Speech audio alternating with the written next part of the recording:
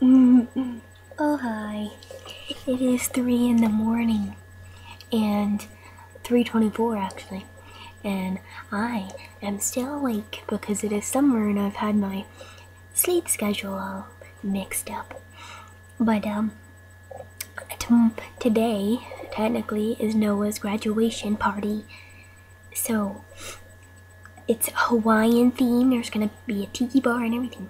So I'm wearing a hula skirt and a headband. And this buster.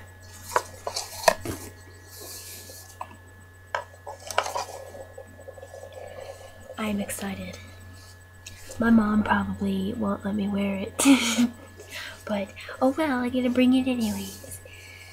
Ding, ding, ding, ding, ding, ding, ding, ding. I'm gonna walk in and they and his parents are gonna be like, oh my god! And I'm gonna be like, I'm ready to party! This is what they do in Hawaii, right? They wear coconut bras. It makes my boobs look a lot bigger than they actually are.